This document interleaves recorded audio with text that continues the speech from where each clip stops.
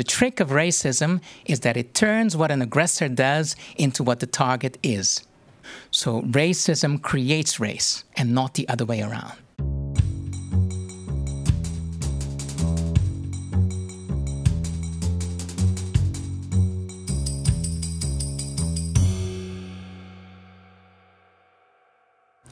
I'm going to be talking about the meaning of blackness.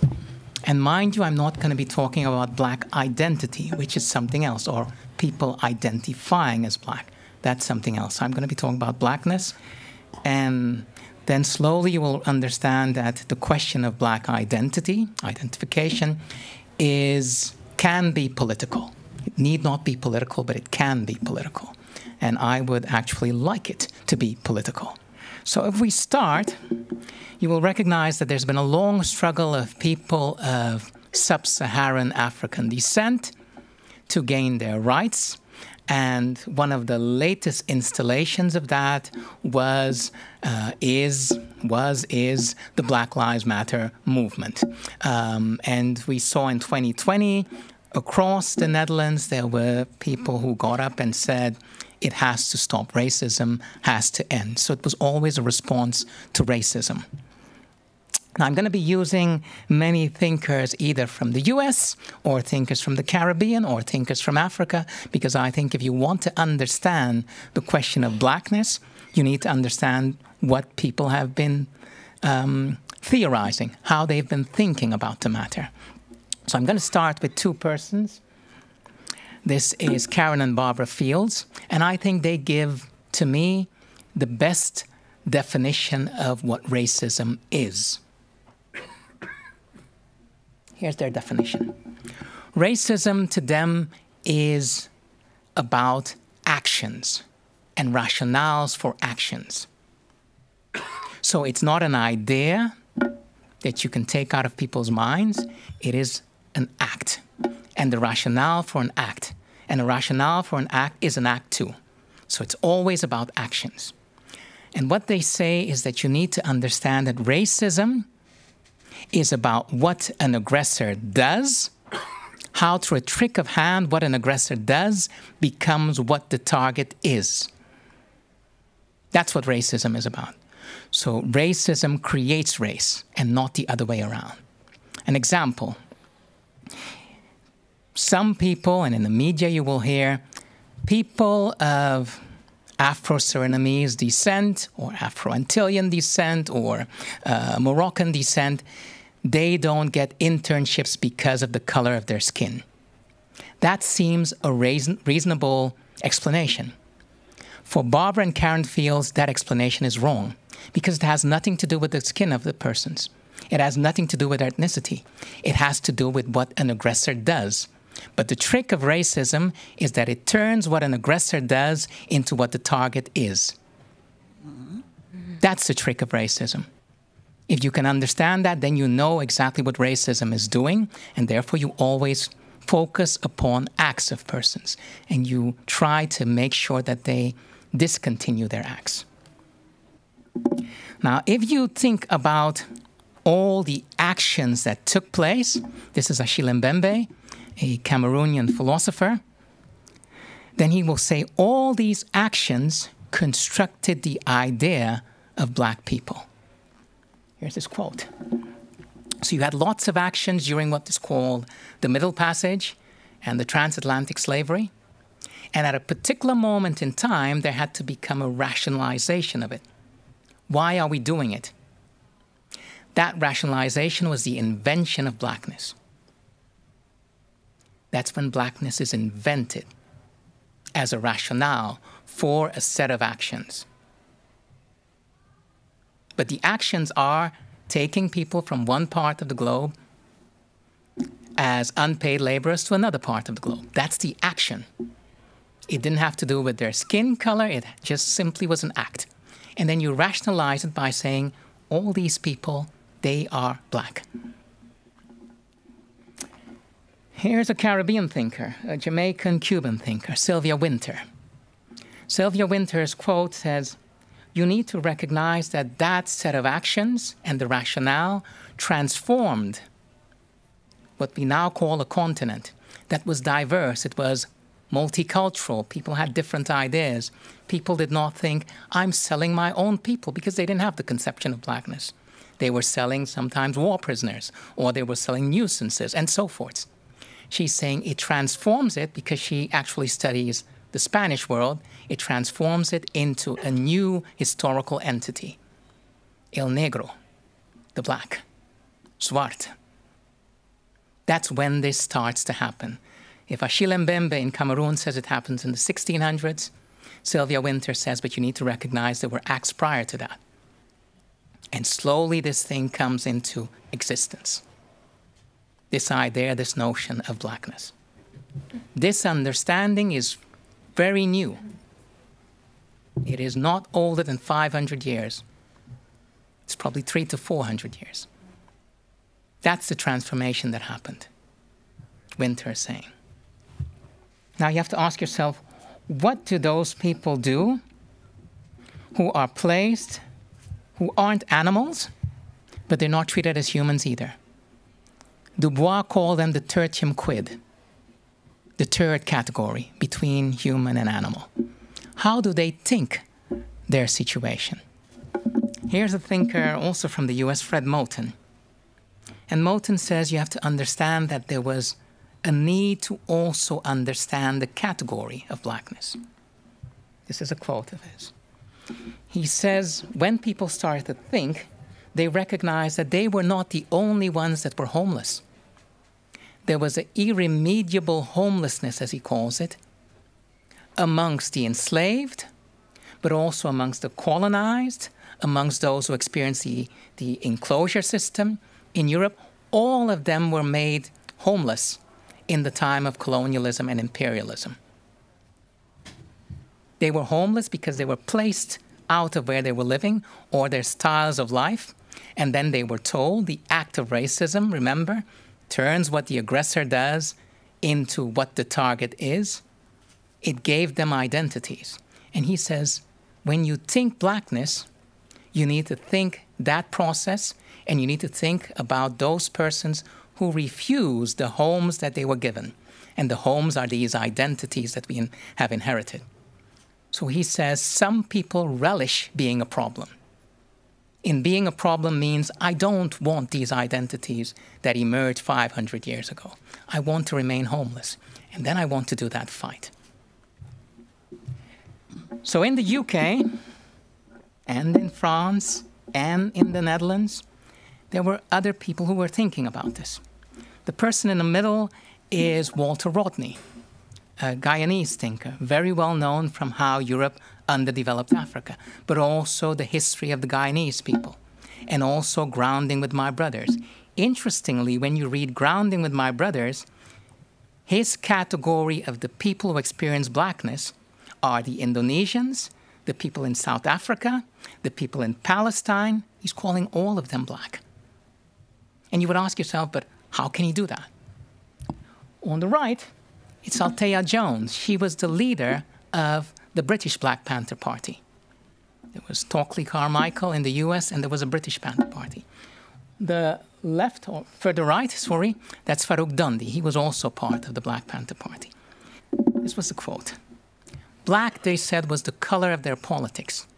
It was not the color of their skin. They called it political blackness political blackness was an organizing tool. The organizing tool, not an identity again, an organizing tool in which they said, if we're going to undo the blackening of people, that means treating them as objects, we have to do it internally in Britain, amongst all those people are being subjugated, and we have to do it externally. It can never be a national movement. It has to be an outer national movement. That's one of their terms out of the nation, not international. The peripheries of the world have to meet each other. Why wasn't it about skin? Because they recognized this earlier. If it is about skin, you can't deal with people who are busy participating in the subjugating of other persons. That's why it was never about skin for Althea Jones, for Farouk Dundee, for Walter Rodney It was never about a particular ethnicity. That's why it was not an identity. Now, I have been thinking about these things. I wrote a book. Briefly, the, the terminologies I use when I say blackness, I'm speaking about political, economic, cultural, uh, um, social productions to make a group of people black. And making that group of people black means making them objects. That's what it's about. When I say global anti black racism, I recognize that from the 1600s, about, people of sub Saharan descent became known as black people. They were made black. They weren't black, they were made black. So, across the world, when you listen to Peter Tosh and others, they will say, no matter where you come from, but Peter Tosh is not saying you're black, he's saying you're an African. He's trying to redirect it. But he's recognizing the, the global anti black racism. Global anti blackness is broader. Because one of the things that people forget is that someone like Marcus Garvey considered the Aboriginals in Australia black. He never limited it to only people from the sub Saharan African continent or their descendants. It was all these people that experienced that form of becoming objects. So for me, global anti blackness also includes the Rohingya also includes those people now suffering in Palestine and so forth. Political blackness we spoke about already. And then there's non racialism, which is the, the complicated term. Non racialism simply means to me everyone, regardless of your family background, you have ancestors that are black. And that means that you live, I live a comfortable life because some of my ancestors, not only my ancestors biologically, but my ancestors historically are working so that I can live a comfortable life. I owe them. There are still lots of people on the globe that are being blackened. They are my ancestors too. Non racialism is the recognition of those ancestors and what you do to try to alleviate that situation, regardless of the hue of your skin. Now, this is my position then. My position is that there is a kind of social media blackness, as I call it, that has emerged, whereby blackness has become an identity and people pose about it. And they forget that those people that were blackened weren't producers, they were commodities, they were things. And if you can think that they were things, you will recognize that they were not the only uh, phenomena that were things. Trees were also made things. That's why we have the Anthropocene situation different kinds of animals are dying out. So when you think about blackness to me, you have to think about the blackening of people, the making objects of people, and the making object of the world. If you can do that, then you enter into something else, and then your politics is different. So that's what I had to say in the 10 minutes. Thank you. Frans noemde een aantal dingen. Hij noemde onder andere political blackness, denkers die uh, in de jaren zeventig heel veel dingen uh, geschreven, gezegd en gedaan hebben. Uh, dat is een tijd waarin jij ook in het activisme kwam. Jij hebt een achtergrond van, je bent geboren en opgegroeid voor een deel in Suriname.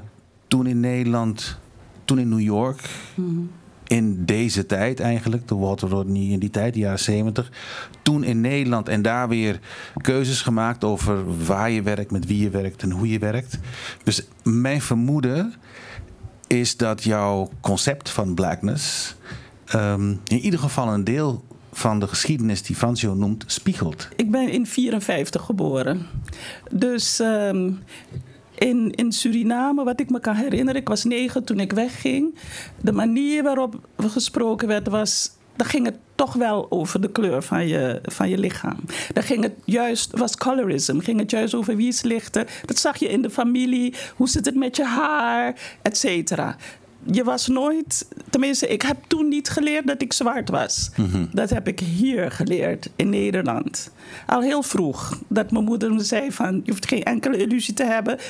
Iedereen ziet jou als zwart, klaar. Eigenlijk moet ik zeggen het N-woord.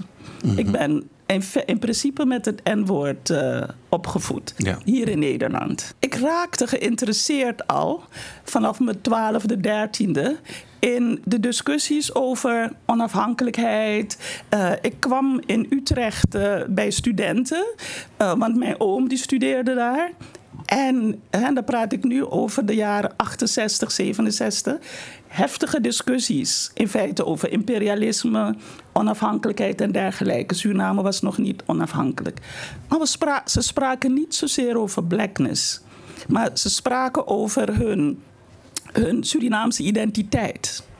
En het is in Amerika. Vanaf 69 was ik daar. Dus eigenlijk, ik zeg altijd, ik heb toch wat van de vruchten mogen plukken van de Civil Rights Movement. Mm Ehm, want ik kwam op een high school waar we een black principal hadden. Uh, waar wij uh, Black Student Union organiseerden. Maar waar we ook, een van de vakken was African American Literature. Dus uh, een heleboel van die schrijvers die we nu nog kennen, dat kreeg ik als, als een vak. Dus het was de tijd van you're black and you're beautiful. Het was ook een tijd van waar de Black Panthers heftig aan het nou ja, vechten waren voor uh, hun positie. Of nee, maar voor de positie van mensen die werkelijk zwart gemaakt zijn uh, als dingen. Mm -hmm. Dus uh, ik herken wel het een en ander van wat Fransjo zegt.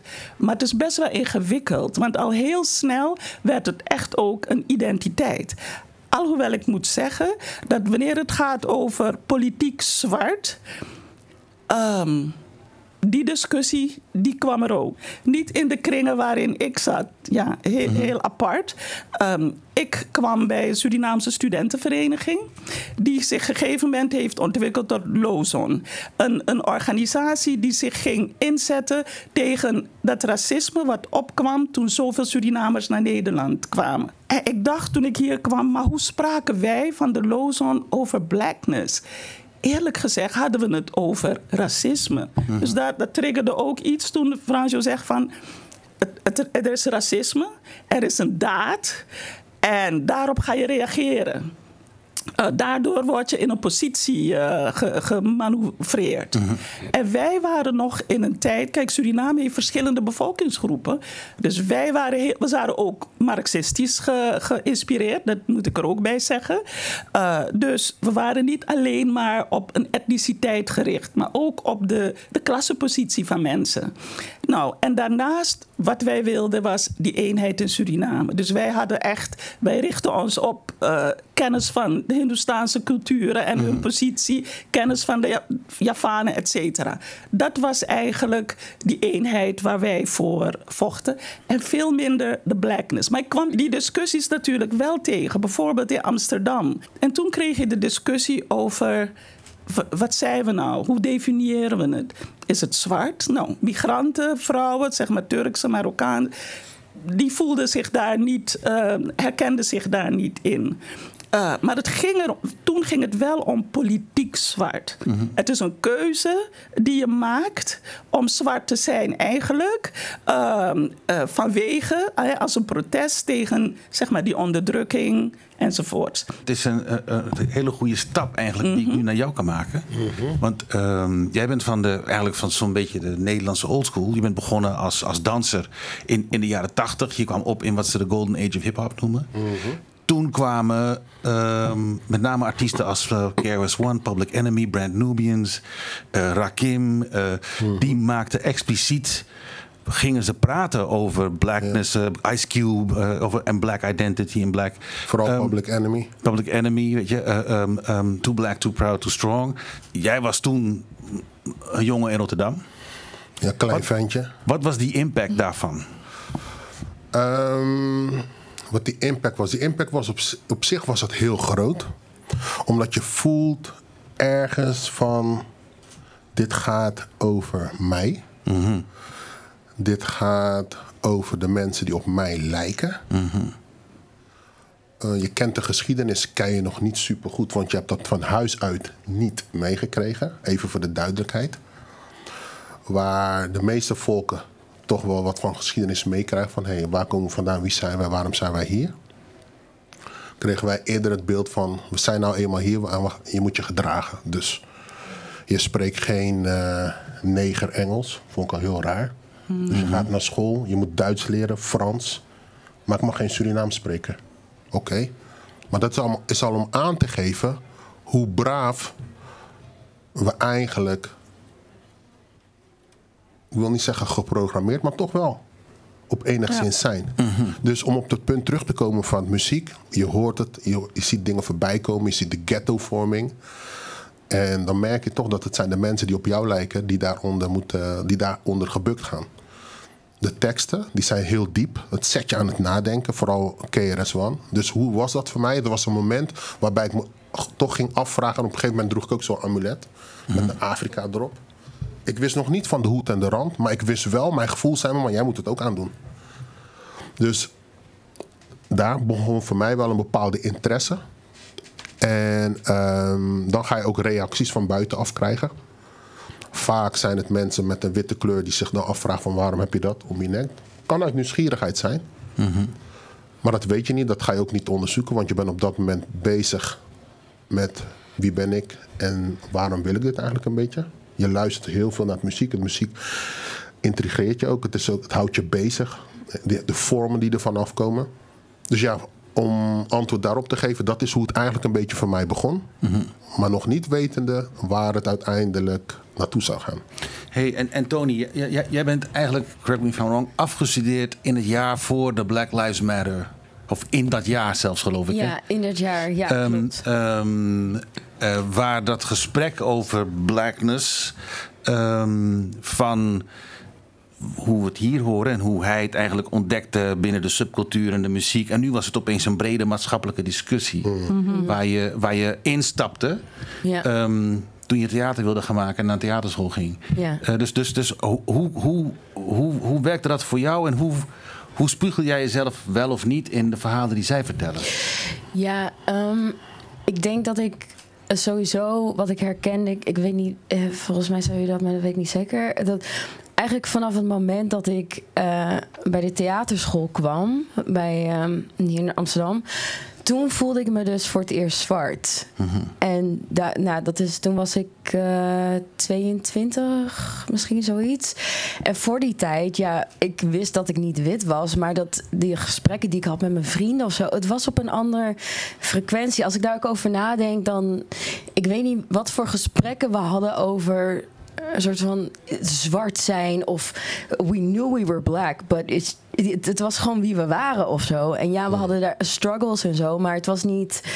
eh, het was niet een soort van dat.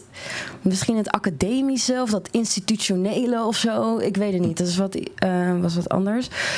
Dus kan je een struggle benoemen? Ja, ehm, ik ben opgegroeid in, ehm, eh, voornamelijk opgegroeid in Overvecht, in Utrecht. En ehm, wij had, daar lachten we eigenlijk over, maar eigenlijk was het best wel erg. Ehm, wij hadden een safari-bus die door onze wijk heen reed één keer per week. En dat waren mensen die zeg maar in die bus konden en door de wijk konden rijden om te kijken hoe onze achterstands, achterstandswijk eruit zag. En ik weet dat mijn broer, ja, dit is misschien niet grappig of zo. Maar mijn broer heeft wel eens met zijn vrienden dan op de stoep gestaan. Dat hij echt zo, weet je wel, zo naar die bus deed. Om een soort van te make a joke out of it. Maar dit waren wel. Ja, het was gewoon wat het was. En als ik daar nu op terugkijk, denk ik, damn, dat erg? gaat echt heel ver. En ik weet ook nog, eh, toen waren wij echt zo 17, 18, 19, had ook Marokkaanse vrienden en zo. En wij wisten gewoon in Utrecht, waar, was gewoon op sommige avonden, was gewoon het Marokkanenbeleid.